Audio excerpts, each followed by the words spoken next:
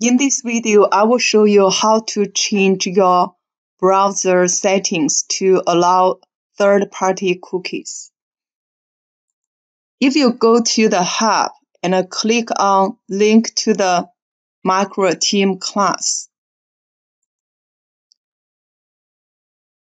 then you will see this uh, screen.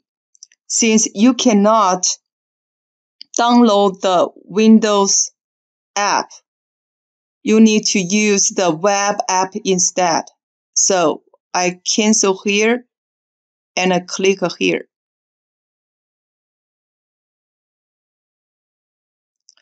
Most likely you will see this.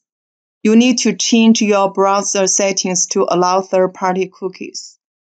So you will click here and find the setting.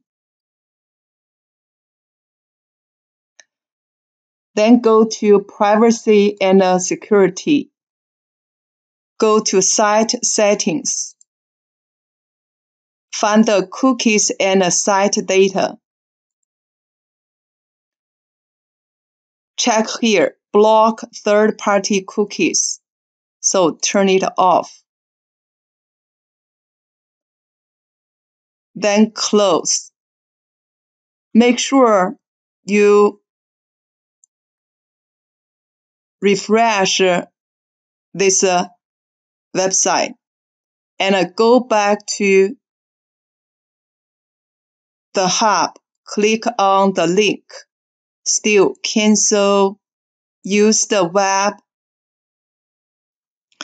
Then you go to the class created by your teachers.